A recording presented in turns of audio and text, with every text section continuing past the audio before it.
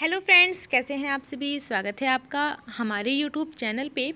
और फ्रेंड्स पिछले वीडियो में हमने पढ़ा पढ़ा था पर्यावरण संरक्षण के बारे में, जो कि हमारे अंतर्राष्ट्रीय सम्मेलन हुए थे, उसके बारे में हमने पढ़ा था। बहुत सारे सम्मेलन पढ़े थे Rio plus twenty Rio plus five प्रथम पृथ्वी सम्मेलन मॉन्ट्रियल प्रोटोकॉल क्योटो प्रोटोकॉल ये सब हम पढ़ चुके हैं। तो अगर आपने वो वीडियो नहीं देखा है तो आप पहले जाके वो वीडियो देखिए, बहुत ही मज़ेदार वीडियो है। तो चलिए, अब आज का वीडियो हम शुरू करते हैं। तो आज हम पढ़ेंगे भारत में पर्यावरण संरक्षण मतलब कि भारत में पर्यावरण को संरक्षित करने के लिए क्या क्या प्रयास किए गए कौन से अधिनियम लाए गए, उन सब के बारे में पढ़ेंगे। तो सबसे पहले आता है पर्यावरण संरक्षण अधिनियम उन्नीस छियासी।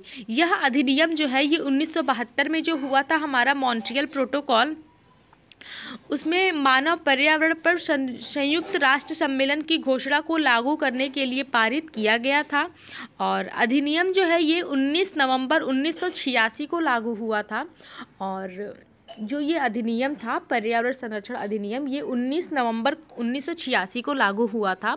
और इसका प्रमुख उद्देश्य क्या था? तो पर्यावरण संरक्षण एवं सुधार के लिए योजना तैयार करना।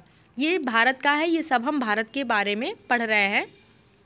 फिर आता है भारत की रक्षा हेतु आंदोलन। भारत की जो पर्यावरण की जो भारत में पर्यावरण की रक्षा को लेके बहुत से आंदोलन भी हुए थे तो चलिए उसको पढ़ते हैं। सबसे पहले हुआ था विष्णोई आंदोलन। विष्णोई आंदोलन हुआ था पंद्रहवीं शताब्दी में।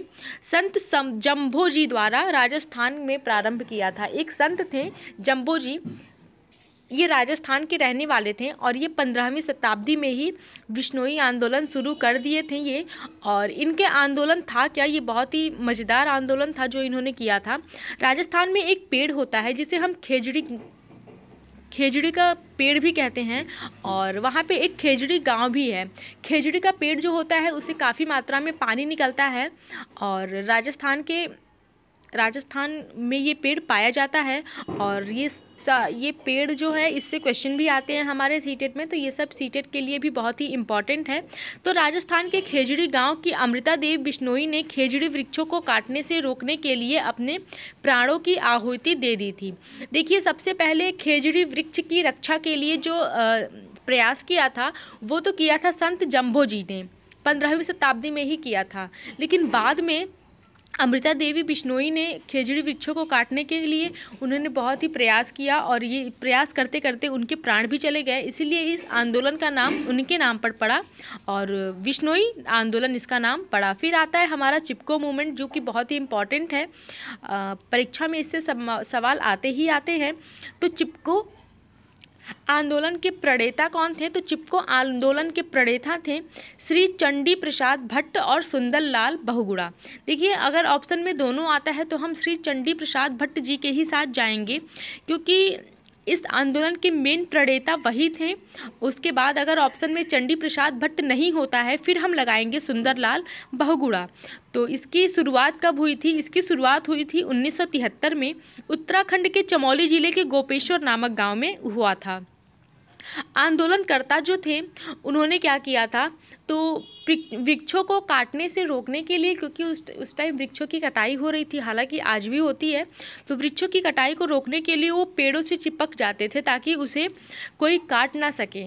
और इसी तरह उन्होंने बहुत से प्रयास किए और रही बात सुंदरलाल बहुगुड़ा की तो टिहरी बाँध आंदोलन जो था, इसके मेन जनक माने जाते हैं सुंदरलाल बहुगुड़ा और अगर चिपको की बात करें तो इसके चंडी प्रसाद भट्ट माने जाते चिपको मूवमेंट की ही तरह एक और आंदोलन था, जिसका नाम है अपिक्को आंदोलन। और ये चिपको आंदोलन के ही समान है। और ये अगस्त उन्नीस सौ तिरासी में हुआ था और ये साउथ में हुआ था। साउथ में कहाँ हुआ था? तो कर्नाटक के उत्तर कन्नड़ क्षेत्र में हुआ था। इसके प्रमुख नेता कौन थे? तो श्री पांडुरंग हेंगड़े थे।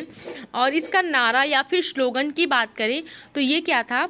उलिसे बेलेसु मतु बलीशु। इसका अर्थ होता है बचाओ, बढ़ाओ और काम में लाओ। बहुत ही अच्छा स्लोगन था ये। फिर आता है हमारा नर्मदा बचाओ आंदोलन, जिसका प्रारंभ हुआ था 1989 में।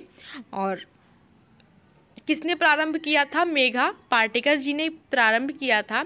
और इसके अन्य सहयोगी कौन थे? तो अरुंधति राय थे, बाबा आमटे थे, अनिल पटेल थे। और नर्मदा बचाओ आंदोलन का उद्देश्य क्या था? तो नर्मदा नदी पर बाँध बनाया जा रहा था, जो कि बहुउद्देशीय बाँध है, और वो अब बन के तैयार हो चुका है। तो मेघा पाटेकर जी का कहना था कि ये बाँध बनने से जो उस क्षेत्र में आ आसपास के लोकल लोग रहते हैं उनको इससे बहुत ही नुकसान होगा। और सही बात भी है क्योंकि बाँध से बाँध से फ़ायदे भी होते हैं और नुकसान भी होते हैं। कोई भी चीज़ होती है उससे फ़ायदे भी होते हैं और नुकसान भी होते हैं। तो इस बाँध से वहाँ के लोकल लोगों को बहुत ही नुकसान हो, होना था। इसलिए मेघा पाटेकर इस बाँध को बनाने से रोक रही थी। हालाँकि ये बाँध बाद में बन गया था और बन के तैयार हो चुका है और लोग यूज़ भी करते हैं। तो फ्रेंड्स, ये हो गए आज के वीडियो। वीडियो अगर आपको अच्छा लगा हो तो अपने दोस्तों में शेयर ज़रूर करिएगा। और अगर आप चैनल पे नए हो तो चैनल को सब्सक्राइब कर दीजिएगा और कमेंट में बताइएगा आपको वीडियो कैसा लगा। मिलते हैं नेक्स्ट वीडियो में।